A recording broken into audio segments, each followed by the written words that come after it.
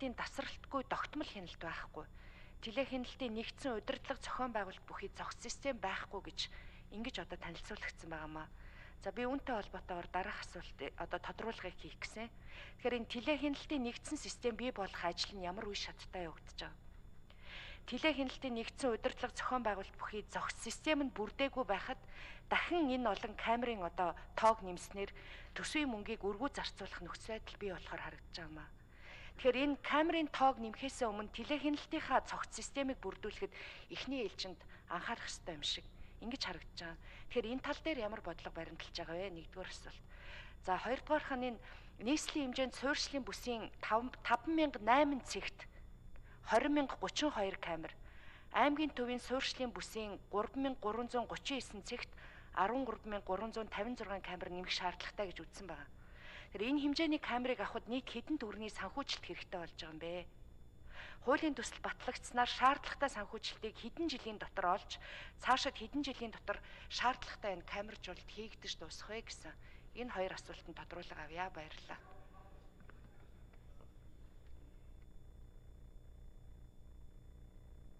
За сандрын мембер зөв хууль зүйн байнгын оронд хариулнаа. Ажлын хэсэг манай хууль зүйн дотоод хэргийн яам засгийн газраас оруулж ирсэн хуулийн төсөл. Өнөөдрөөс хууль зүйн дотоод хэргийн яамны 110 жилийн яа болж байгаа. Түүнтэй холбоотойгоор олон улсын а хувийн эрх зүйн сэдвэр хорол болж байгаас ажлын хэсгийн гишүүдээс хүрэлцээр хамжаагүй байна. Тийм болохоор таны сая асууж байгаа нөгөө санхүүгийн тооцоотой холбоотой асуултанд би одоо хариулах боломжгүй байна. За нэгдүгээр асуулт тэр нэгдсэн телекамерын системийг нэгдсэн системтэй болох, нэгдсэн тогтолцоотой дэд үсттэй болох энэ асуудал бол урд нь бол байгаагүй.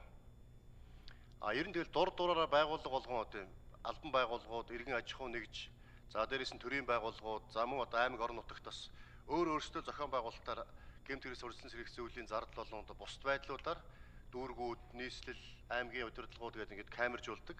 Энэ камерууд нь одоо хоорондоо тохирсон одоо систем байхгүй өөрөөр одоо брэндих гэдэг юм өөрөөр маркийн одоо загварынх хоорондоо ажилтдаггүй уйлддаггүй тухайн хэсэгтээ одоо үйл ажиллагаа явуулдаг байсан. А энийг бол энэ хуулиар зохицуулаад хуулийн 7-гийн 10 12 юу 20 7-гийн 2-ын 10 дээр улсын болон орон нутгийн төсвийн хөрөнгөөр суйрлуулж байгаа дүрс зүйчлийн техник хэрэгсэл нь цагдаагийн байгууллагын мэдээллийн нэгдсэн сүлжээнд холбогдох боломжтой байна ийм л одоо камерууд нэгдсэн стандартаа хоорондоо уялдаж хоорондоо зохицож ажиллаж чаддаг байх. Ийм одоо асуудлыг хуульчилж өгч байгаа. За ингээд ингээд нэгдсэн сүлжээнд холбогдох юм бол цагдаагийн байгууллага дээр нэгдсэн камерын удирдлагын систем бий болох юм. А тэр удирдлагын систем дээрээс нэгдсэн хяналтаа тавьдаг болж нэгдсэн зохицуулалтаа хийдэг ийм байх. А ер нь бол камержуулснаар бол маш том одоо үр дүн гарч байгаа. Камертай газар тэр гэмт хэрэг гаралт бол маш эрс одоо буурдаг. Энэ бол олон улсын жишг Монгол улс ч гэсэн бас тодорхой бас өнгөрсөн жилүүд камержуулснаас бас харагдаж байгаа. Тийм болохоор камержуулах ажил дээр илүү одоо анхаарал тавья. Гэмт хэрэг зөрчлөөс урьдчилан сэргийлэх чиглэлээр гарах зардлыг илүү илүү чиглүүлье гэдэг агуулгаар хуулийн төслийг одоо засгийн газраас оруулж ирсэн. За энэ хүрээнд нь хуулийн төслөөний хийгдээд одоо явж байгаа. За үлдсэн асуудал нь ажлын хэсэг 94 номер дээр хариулчих уу? 96 цагдаагийн байгууллагаас тэнд. Цагдаагийн байгууллага 94. Ягаад энэ голгоос болгоогүй юм бэ? 96